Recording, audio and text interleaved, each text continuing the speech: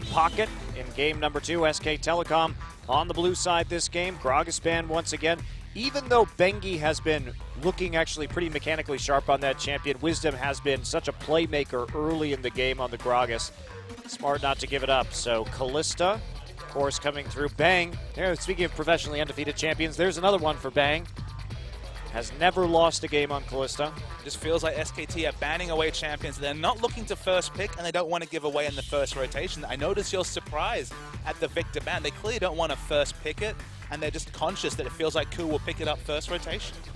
Janna ban, too. Very unusual. As the Ryze is banned out on the blue side by SKT, and there is the Alistar. So two bans against Wolf, seeing if they can do something else in that laning phase and perhaps a 2v2. But you have to feel like Bengi's happy to opt into Rek'Sai versus Evelynn once again. This is a matchup that, of course, Watch struggled with on the Evelynn side. In general, Evelynn, newly predictable due to the play of Rek'Sai, but very powerful bottom lane locked in with the first two picks from KOO. Yeah, huge all-in lane. Sivir and Annie very easy to gank. They don't have to be worried about the jungler. Bengi's faces back during Champ Select. Uh, is my favorite player to watch during Champ Select because he always just does the weirdest stuff. Always seems very perturbed and just deep in thought. So Corki will be locked in, of course, for Bang.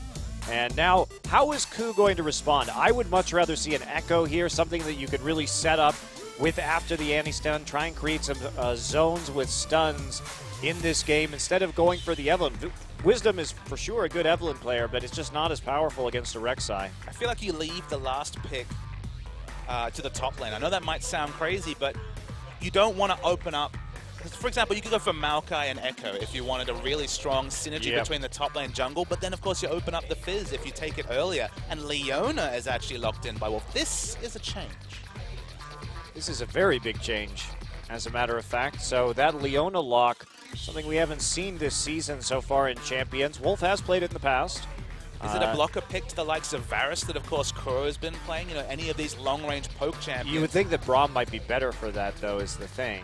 I mean, you're forced to be more accountable when the solar flare is being thrown out. You can't just sit back at a thousand range as uh, Varus. Of course, at max max range you can, but in general, you're denied from a lot of things. But they must think a mobile backline is going to be the way from KOO, because otherwise, why would you prioritize so early a second rotation rotation Leona? Reminder that the Ezreal is available too, the Runeglaive Ez, and SK Telecom. Now, they the Leona is a partial answer to that, but I don't think it's really a great one uh, as a whole. So they need to deal with this Ezreal and KOO have they have Annie and Maokai. They will be able to, and they have the flank. They have Sivir. They have everything they need to lock down Ezreal if Faker picks it. You have to think that the Ezreal's coming in now. How has SKT dealt with this in the past? They had Maokai. They played mid lane Ryze. This game they banned mid lane Ryze. Is it global time? Is the question? Is there a, I think it is. thinking I the think, Shen as well? I think the answer for them is go global, play the side lanes, and prevent SK or KOO from grouping with a very strong poke composition. With the cleanse summoner change, you have to think it Oh, is boy. likely to be the Azir. Definitely not one of Faker's strongest champions. Feels like Easyhoon might edge ahead on that particular champion, why we saw so much from last season. And the response is an insta-lock Kassadin, and what a great situation to lock in Kassadin when you already have the Sivir for wave clear. And this is a really high win rate champion for Kuro. 4 0 23 KDA Cassin this season. His Cassin's been very impressive. And it is a good matchup against Azir. Very My, good. my concern, Papa Smithy, is that we saw what happened when KOO lost control of mid lane early and SKT just choked the life out of them in the game. And we've seen how when teams like Najin try to play the Kassadin, the lack of an early game means that against Azir and Corki, you start setting up that 4-1 split, that siege in the mid game, you're going to lose a lot of towers. And it's going to take so long for this Kassadin to come online. I don't think the KOO Tigers are going to be able to weather the storm of SKT. Let's compliment KOO for the one thing they pulled off. They know they had, they knew they had a really tenuous matchup in top, which of course is actually mirrored here, the Maokai versus Fizz, and they set up the Maokai to actually be ahead of where we expected. With the roaming of the likes of Annie, if Wisdom's on point with the Evelynn, there is enough pressure to rotate through mid lane that maybe they can make it work. But as you mentioned, playing on a razor's edge against SK Telecom, do it at your own peril. I just feel they're making the exact same gamble they made last game, and it just didn't pay off. So it's really going to be up to Gorilla. If they can kill Faker early, maybe they can pull this out and they can get the Kassadin into a good state. But if they can't, could be just a repeat and a quick one for SKT. Let's get into the game and find out.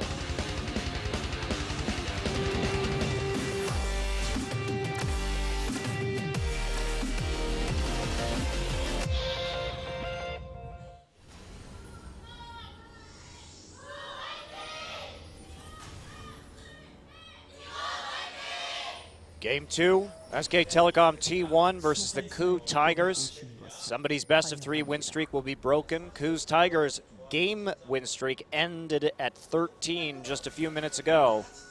And who's going to take this one? This is exactly the opposite of what I thought KOO was going to do.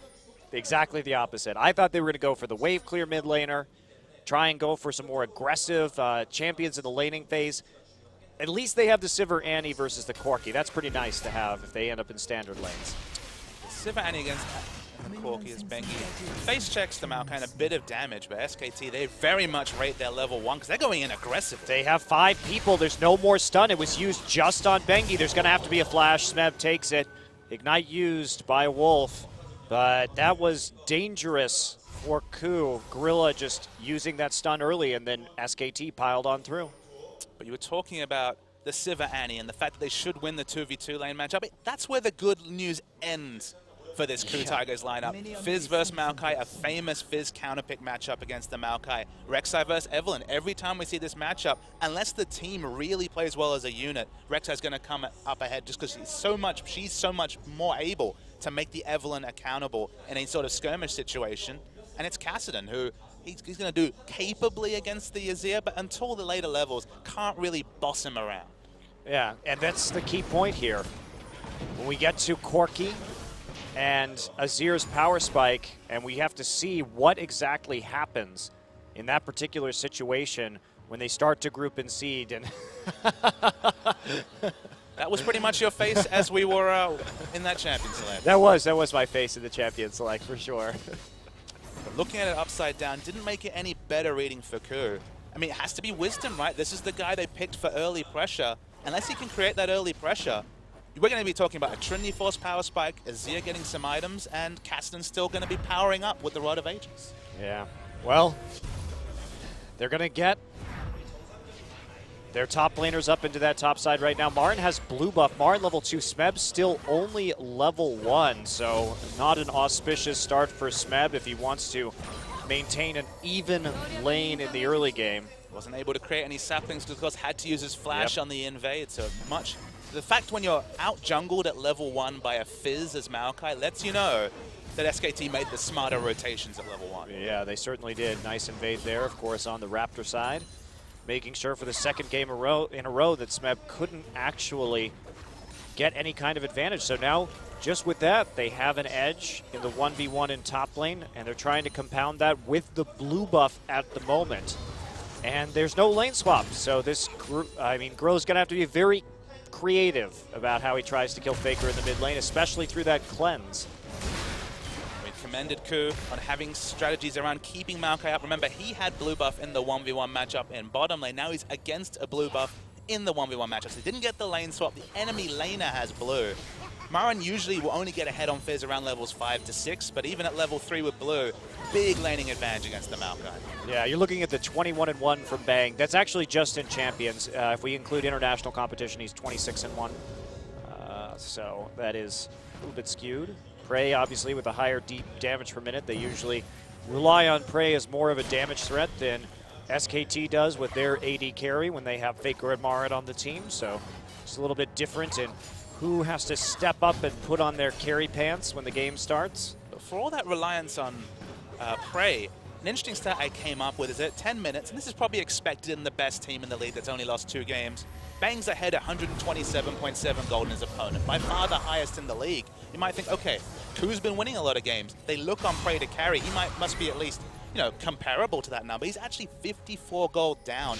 Second bottom in the league, only above Nuclear from SBENU. Actually below, for example, Sungyun from Anarchy. His laning phases this season okay, Gorilla likes to pack up and leave, but they haven't been going ideally. All right, Bang actually going to get Uh, stunned up here, has to use the heal, has to use the flash. There we go, and PraY will get first blood in the 2v2. That is the danger of this Sivir and this Annie together, but looks like Wolf will pick one up in return. Gets the ignite and the kill, but that is a favorable trade for sure for the KOO Tigers.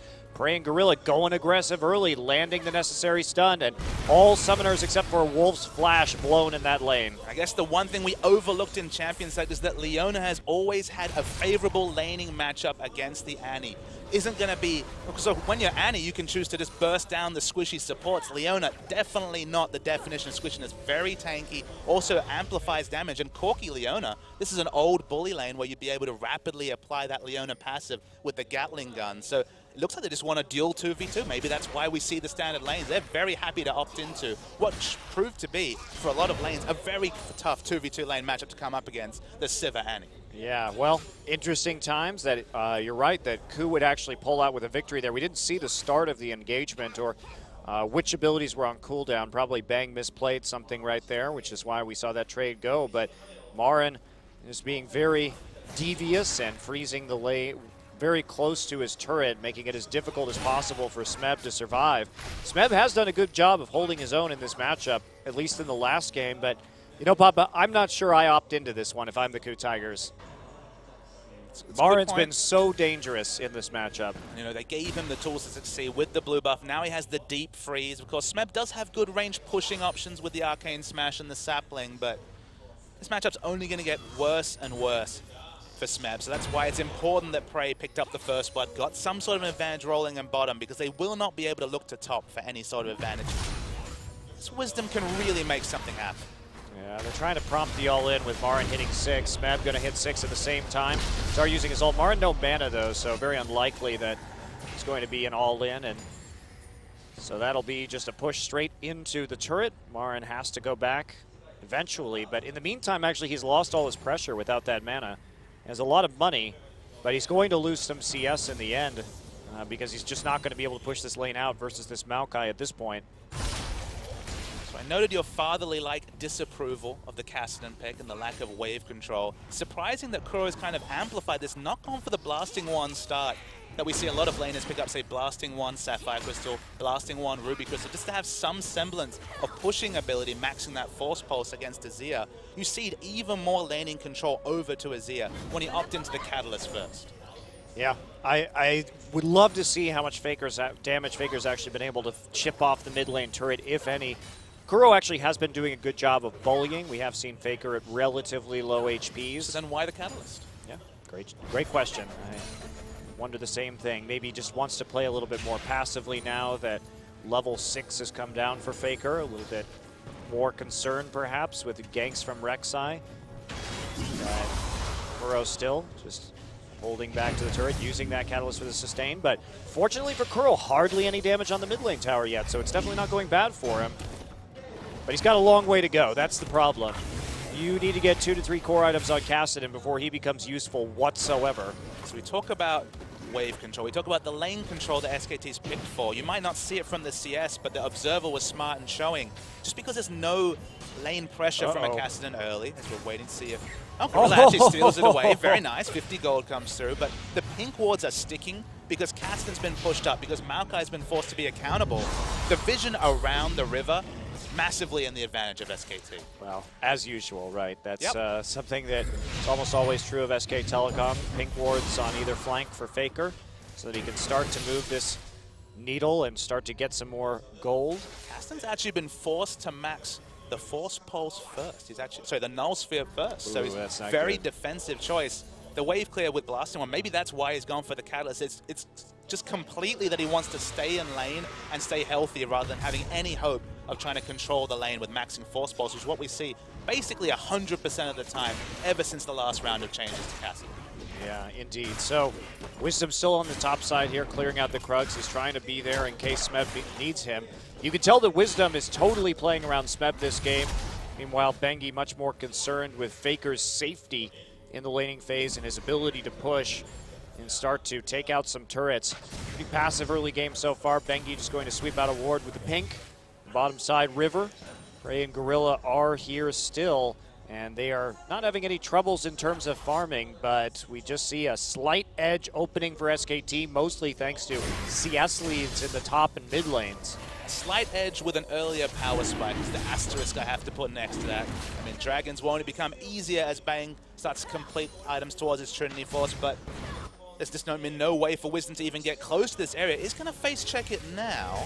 he's going to see it. What can he do here? Can he make a play? He doesn't have pressure in mid or bot, and he can't get there, and he gets seen with the Tremor Sense. Clever from Bengi just to pop underground right as that goes down, but that's going to be a Dragon handed to KOO. Wisdom swaps into the bottom side, and there's no chance of aggression from Marin either because Maokai's so close to his turret, so there's really nothing that could be taken. I mean, it was smart of Bengi just to go underground right before he was within smite range to make sure that wasn't going to get stolen, but it gets stolen anyway. Very fortunate pathing time from Wisdom. He just happened to be there, and as you mentioned, because he was doing the damage in the um, unburrowed form, he was able to, Marin takes a nice little burst, but he was able to you know, be deceived until the last moment, as you mentioned. Smart of him to burrow, get the information that Wisdom was around at the cost of the Dragon, but perhaps not the biggest concern 11 minutes into the game. All right, Gorilla's here. There's the twisted advance. Barony's going to dodge that. Fish goes down. There's the Tibbers. Do they have the follow-up? Smeb has no mana. Has to flash Arcane Smash. Gorilla gets the kill. No Ignite needed. And that is some more help for Smeb. They really have been camping for him in this series. And they're rotating around, and with the directed, targeted CC, good engage by Gorilla.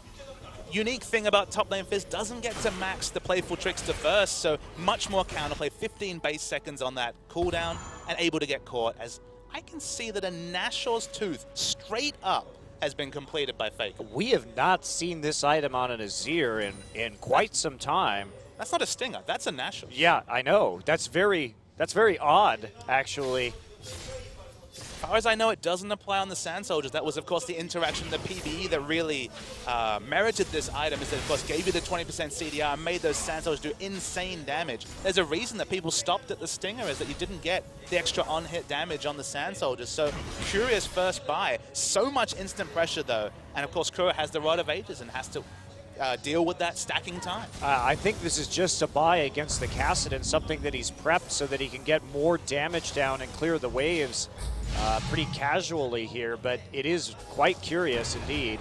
A Null Sphere Max Kassadin against a Nashor's Tooth or Rush Azir. This certainly was not the smart tip by anyone for this no, series. No, no, not at all. Well, they're standing at a ward there. Looks like there's a ward bug. They can't actually tell that KOO Tigers can see them right now. Uh, Gorilla does not have... Okay, there we go. And they're going to go in with the Solar Flare. TP's coming in. There's no uh, actual really resistance here from the KOO Tigers. Brady's going to get caught out, has the spell shield up, and goes down. But there is the Fizz with the fish. Kuro down. Can Kuro clean this up? They're all low. Smeb still here. They can maybe re-engage this, but Faker coming in for a possible dive, just coming in from behind. Two versus five in the bottom lane. And looks like Smeb and Kuro going to have to go back three for nothing. That was a really weird vision they had the vision advantage, though, Monty, from that vision bug, as I, you mentioned. I don't know if they knew they were there or not. I don't see why they would be in range of a solar flare without the tibbers up if that was the case. Well, the scary thing to me was, let's say they did opt into it, they lost the trade 3-4 with the extra information. One thing I'll note, Maokai was the first to channel his teleport. It looked like they had some semblance of idea, but a massive win for SKT and Kuro taking a lot of damage from Faker's Nashor's Tooth uh, Azir. Wow, this is... That was a quite odd fight. It, I mean, Gorilla gets caught out very early on, and they don't have a really good way to respond to it. Gorilla just dead before he can do anything. There's the TP channel. And Maokai by far has the advantage with the teleport, but still, PraY is so low at this point. Mara can just choose out Wisdom, knowing the other two members would fall. 3 for 0. We're only speculating. It looks like maybe there was no vision granted whatsoever by that ward as we come to live and casting today. And so is Gorilla. Now Marin going to pursue this under the tower. Easily taken with the help of the Chilling Smite. Faker actually pushing the Sand Soldiers through to secure the kill for himself. Not sure how Kassadin managed to die there with both summoners up. More and more junglers are opting into this Evelynn versus Rek'Sai matchup, and I'm sorry, it does not work out. We're going to see the replay. All right. Hasn't used any CC yet. Okay, of course, the CC train, well known. My goodness. Oh, Wow, the knockup into the the uh, the Rek'Sai knockup, just a perfect combo. Uh, that's been what's so scary about SKT in this series, is how well they chain their crowd control together. It is nearly flawless. It was a stun into a bounty castle into damage. Wow, that very good coordination around all of their CC abilities. Might be forgiven for thinking this is a replay of game one because they've taken that outer turret early once again. Two outer turrets down. Evelynn getting invaded. And just how do you get back into this game if you're KOO? This is what you mentioned the moment we saw Kassadin locked in. The downside of the Kassadin pick is you're never going to have any hope of controlling waves around mid lane if you're the Kassadin team.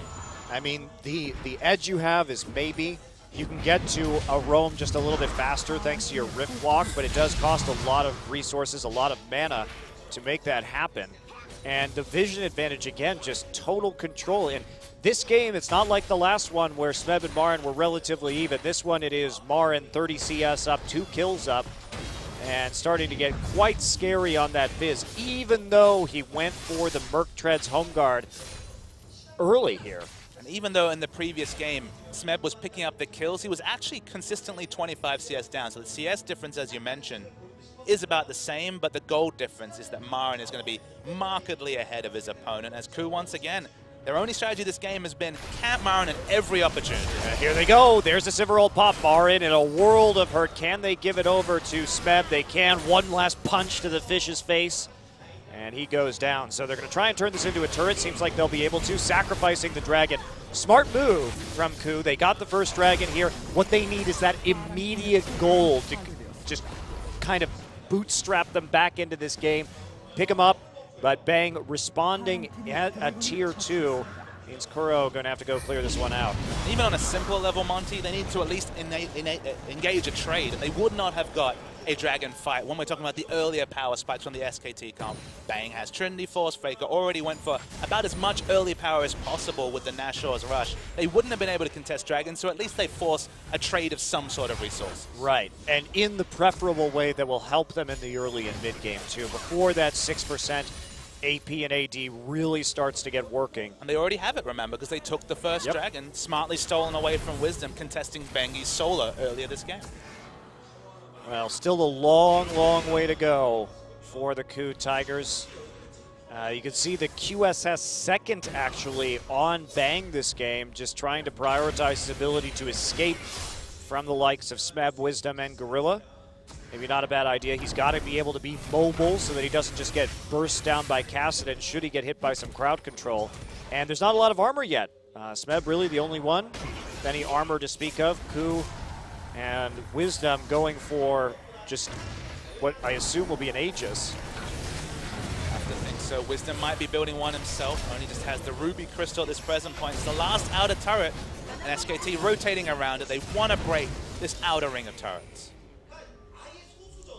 Okay, well, Faker can just keep moving up the mid lane, just like he did last time. Cover his flank with an Azir turret, keep the pressure on map pressure. It's symbolized in this mini-map. Four pink wards on the map to zero from KOO Tigers. Well, that's exactly why I was concerned about this Kassadin pick. This is not the direction that I think the KOO Tigers should have gone with this draft. Certainly Kuro's strong on this, but they, I don't think they saw the reason exactly why they were losing that last game. You just can't compete with how much heat uh, Faker can put on the mid lane and how much of an effect that has. It just ripples outward across the rest of the map. They need Kuro to be able to answer it. And the champion select should always have teams trading advantages. For example, Fizz versus Maokai is what SKT opts into. That's a winning lane matchup for Fizz. So you feel like KOO should be able to, just with the nature of pick ban, get something of their own. And although Kassadin can be a winning lane matchup against uh, the Azir, we're talking about after a certain point in the game, after about, say, 10 to 15 minutes. That's the first 15 minutes of the game where SKT often win and lose their games, or in general this season, win them all. They want to go for Bang right here, but they don't really have the angle. Faker still there. TP coming in from SKT. Right behind them, they're going to dive. This Gorilla gets bounced around and nearly instantly killed. Bang pops the QSS to get out of the Tibbers. Wisdom here on the side, but five members of SKT still diving this turret. Double kill for Faker. Marin going to fish himself another one. Wolf just standing there tanking the turret on the dive. Kuro there again too late. Faker with the priority on the rotation, gets to the turret, and they execute a very nice dive. And here comes the rest of it. Smeb will fall. Kuro has nowhere to go as Fizz Marin completes the ace. Wow.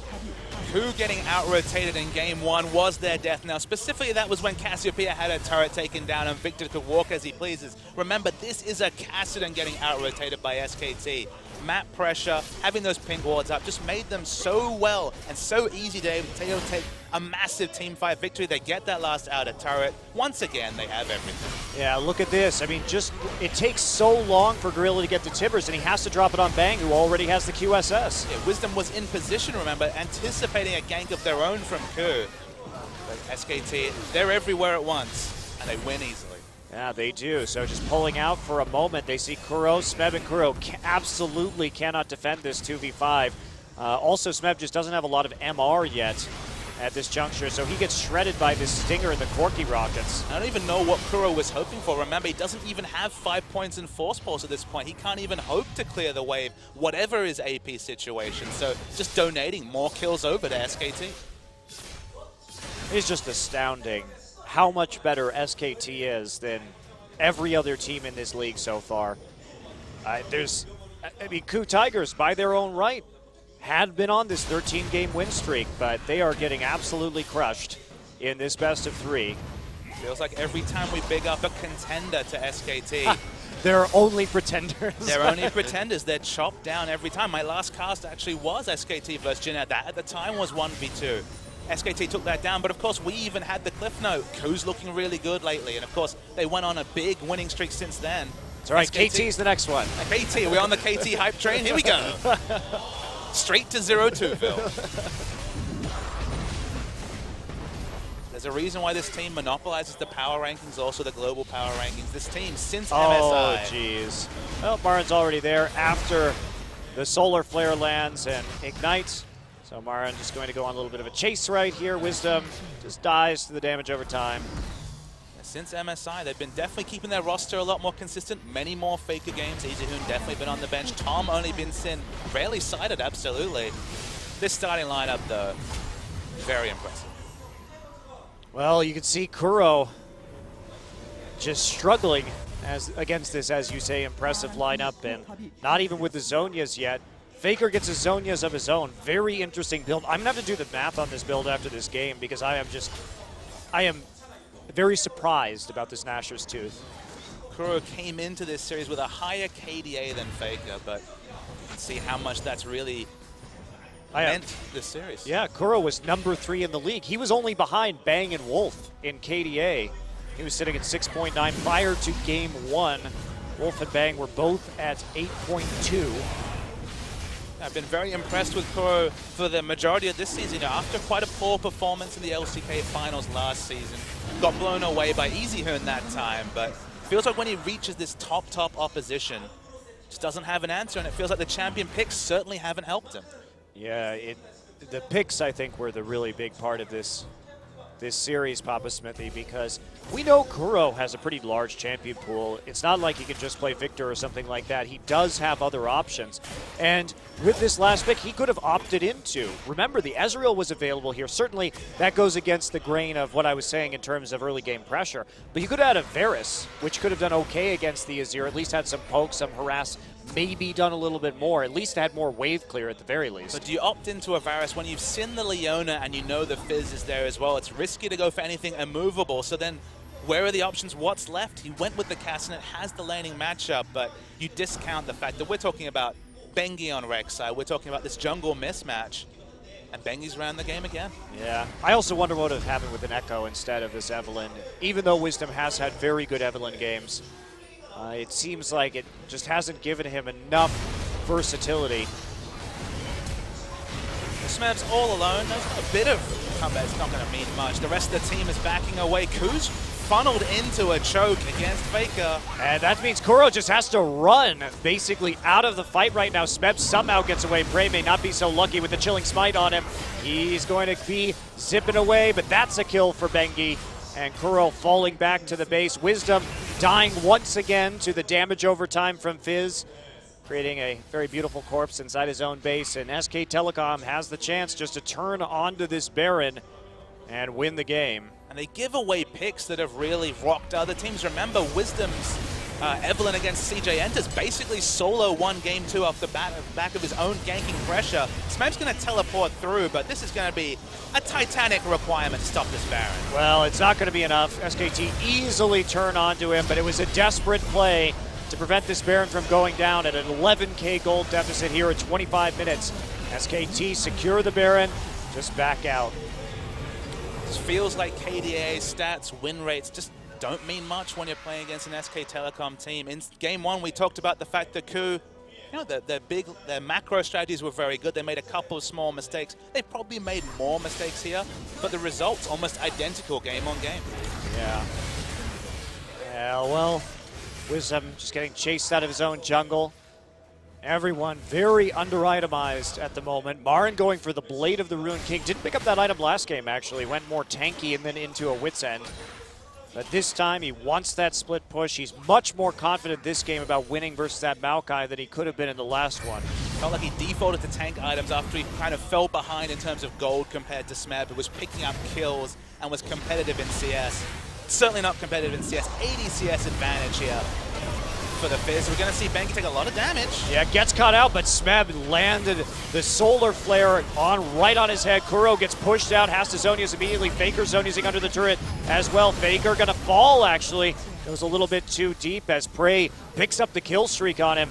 But that is going to be looks like enough of a defense, at least for the moment. Smeb coming back up with his home guards in about 15 seconds should be just enough for KOO to hold on to their inhibitor turret and prevent SK Telecom from cracking the base. Yeah, Bang was guarding the baroned up cannon minion with his life, but eventually had to relent because of the respawn timers. They're not able to break the outer turret in the mid lane, but Marin's going to keep piling on the gold. Blade the Ruined King finished, and I guess it's going to be the Frozen Heart third this time. Yeah, third instead of second. I guess that's sufficient for his tankiness. Well, KOO, at least they're the bright side is they're not really going to be threatening any kind of fifth dragon anytime in the near future. So SKT can just they've got at least a small, extraordinarily small chance to defend, but realistically SKT can just dive pretty much at any point. And is this the time when we start re-evaluating Marin as a player and you're ranking on Marin in terms of the power top laners in Champions? We talked about the likes of his opponent today, Smeb, Ssumday, and Duke as really uh, the top, top laners. And now that he's showing a carry champion like Fizz, and you can't disagree, it's Blade the Ruin King Trinity Force, he's showing that he has the carry potential to go with his very, uh, very strong tank roleplay with the likes of Rumble and Maokai. Yeah, he's certainly diversifying in a very scary way. And the Rumble also not really, it was banned in game one of this series, but something that people are very concerned with. Smeb gets locked up by the solar flare. He is dead instantaneously. Wisdom, the next to fall in the front line. Marin goes, but Mount, Face of the Mountain actually going to save him from the Ignite. Popped by Gorilla, so that is one more member of SKT left alive. He's just going to recall, come right back in as soon as he's able to cross the map with his home guard boots. And here is a devastating siege incoming from SK Telecom. We're going to see Bang just freely autoing. Fizz doesn't have teleport, so can't be there instantly. Nine seconds for Smeb and Wisdom to come back means the game probably won't end here, but just the way we've been speaking, it's kind of been over for about a good 10 minutes. Yes. Yes, it has been. These games have been very quick, and really the only team to give SK Telecom a run for their money, at least out of the top six teams in Korea, has been Jin Air. They nearly won that game two a few weeks ago. Uh, didn't do so well in the rematch of that series, but this is one hurdle and probably the biggest one for their undefeated season. Crazy scene where what they'll go 13 and 0 after this series. The only team to really give them a run for the money in a series is probably Samsung. They probably had the best series against SKT, and that's a crazy thing to think about, and you can, of course, question how seriously SKT were taking that series. Speaking of serious, Wisdom is very dead. Jeez, that damage coming out of Marin is absolutely massive. Handing a red buff to him just to add that little more true damage to put him over the top. And now SKT do not need any help to put over the top. They're definitely the John Cena of this league. They just do a lot of winning. They very rarely lose, and when they lose, pretty questionable. All right, Marin caught out by a Tibbers. Will he actually fall? No. We see the Emperor's Divide coming through defensively. Smeb tries to go in, but he falls. They get Faker with some burst, but not before losing the Maokai, and they can just keep on pushing right here. They still have the Corki to apply the damage to the turret. They don't even have a minion wave prepped. In fact, there's a minion wave pressing against them in the top lane, but it doesn't matter when you're so far ahead. 16,000 gold at 30. Here's the TP. Marin just showing right back up. He's on top of the turret already, going back to dive, PraY in the back line, forcing everybody off, giving Bang some more time. There's a fish, and there is a dead fish also. Wow, Marin maybe getting a little bit too greedy different game where they weren't so far ahead, the fact that they've been really neglecting their minion waves, the fact that there is great scaling towards the late game would be comfort for KOO. Smeb actually activates his home guards, but not going to get anywhere near SKT. No, he is not. Well, uh, we have officially passed the flame horizon for Marin this game at the 30-minute mark.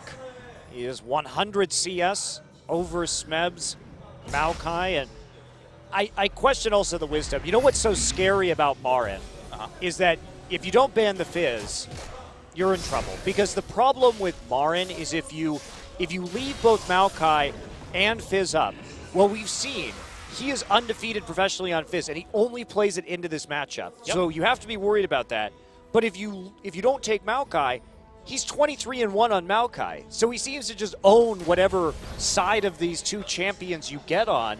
And how, how do you stop that unless you actually spend a ban on his pocket Fizz? And then who knows what SKT is going to get at that point? Are they going to get, especially when you're on red side, are they going to get Kalista? Are they going to get Alistar?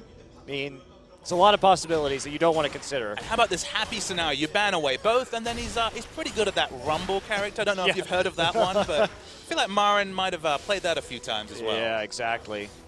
It's very difficult to handle SKT in a draft these days. More bans, please, Rito. Wisdom's in a really nice flank All spot right, here. they're going to go for it, but Bang just going to Valk over the wall. Bengi gets caught early. Smeb on top of him with that twisted advance, and they're actually going to turn this around. Faker uses the Emperor's Divide. There are the Rockets coming in, but the cleanup from Bang. He's free autoing just behind the wall, and Smeb gets onto Bang, but there's the QSS once again, and a double kill from Bang, who is just so protected. Triple kill, quadra kill, and are they going to get the Penta? Marin wants to hand it over. Gorilla gonna get fished. Gorilla gonna get the Penta, Penta for Bang. That is SK Telecom's first Penta of the season. They are answering it. Our second Penta in the last couple of days, and Bang just handed that one on a silver platter. KOO was doing everything they could. They had to engage, they had to play aggressively, they tried, but Faker's wall made it so Bang just had free auto attacks, and that'll be the game. SK Telecom defeats the KOO Tigers 2 0. They extend their game win streak to 17. They extend their best of three win streak to a shocking 20 here as they look to complete this season undefeated. And they are only one series against KT away from locking up Worlds qualification. This SK Telecom T1 Cup, even having the cherry on the top, giving Bang that Penta, got everything they wanted here today.